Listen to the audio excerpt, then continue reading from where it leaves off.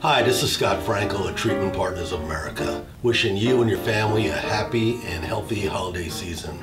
And remember, if you or a family member or anyone you know is looking for help, always extend your hand and help them.